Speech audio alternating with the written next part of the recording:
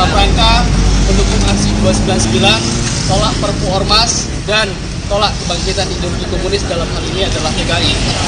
Cuman sayang upaya-upaya itu kemudian dilarang oleh pihak kepolisian sehingga mobil komando kami ditahan padahal sudah disiapkan mobil komando kami.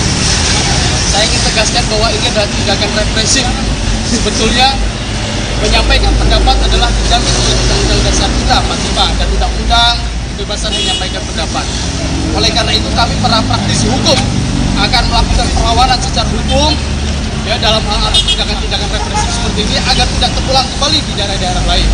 Dan kami menyuruhkan kepada seluruh kaum muslimin untuk hadir besok ikut serta dalam aksi tolak perempuan dan tolak kebangkitan ideologi komunis dalam hal ini adalah PKI.